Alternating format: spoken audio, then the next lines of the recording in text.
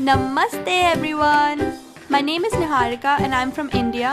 I've been watching YouTube since like forever and this is my first video. I'm super excited. Today I'll be doing some DIY room decor. For all those who don't know, DIY means do it yourself. These are super cheap and simple tips and tricks to spice up your room for the summer. So, without further ado, let's get started.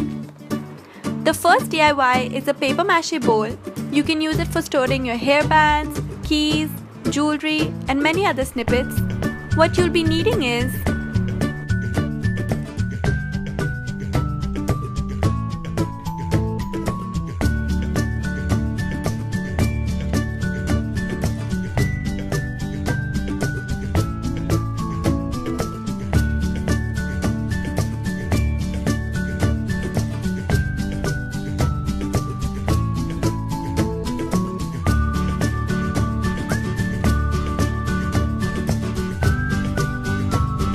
Cut out a 1 inch newspaper strip, preferably the width of your scale and fold it in half.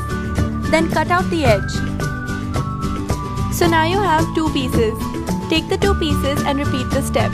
Fold it in half and cut off the edge. Keep on repeating until you have as many pieces to cover up your bowl.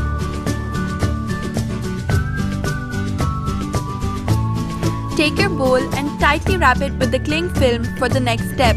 But remember not to leave any space uncovered.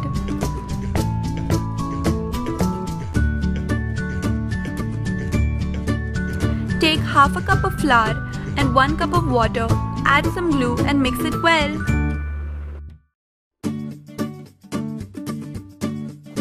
And now comes the messy part. Take your newspaper strip and dip it in the mixture. Wipe off the excess and paste it on the bowl. Add multiple layers so that your bowl is hard enough.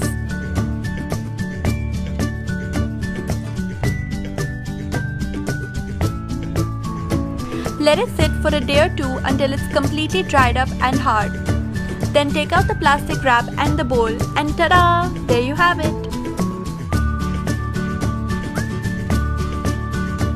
Now it's up to you to decorate it the way you like.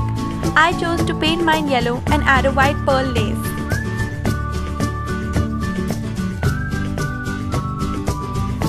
DIY 2 is perfect for summer. It's a sunglass holder. What you need is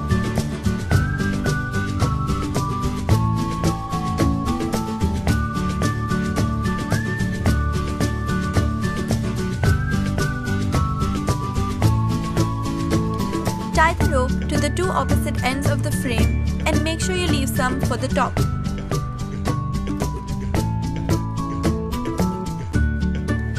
Now take the two loose strands and tie a knot. A tip would be to add Fevikwik to the rope so that it stays in place. Hang your sunglasses and there you have it, your very own sunglass holder.